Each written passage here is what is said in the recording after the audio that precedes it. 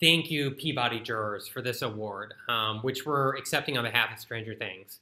This is an incredible honor, and the company we find ourselves in is inspiring, to say the least. As everyone who works on a TV show knows, it is highly collaborative in nature, and the finished product you see is the result of so much hard work from so many people. Uh, first off, we'd like to thank our incredible producers, uh, Shawn Levy, who we've learned so much from you, Dan and Ian. There's simply no show without you. Uh, we'd also like to thank our entire cast, our writers, and our crew. At this point, you all are family. We love you all. You inspire us daily. And of course, thank you to Ted, Cindy, Brian, Matt, and everyone at Netflix for seeing the potential in this show so early on when so few did.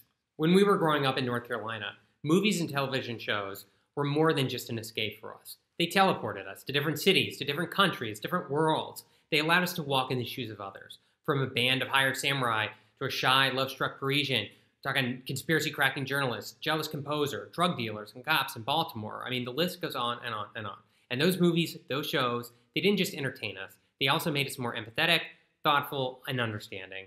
And they also made us feel less alone.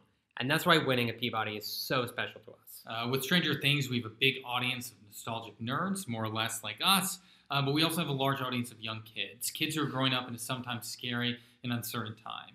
We always wanted our message to them to be fairly simple that the power of friendship can overcome incredible obstacles, that being weird and thinking different isn't a flaw, it's a superpower, that each of us has the power to grow and change, and that by working together, despite our differences, and often because of them, we can overcome incredible odds.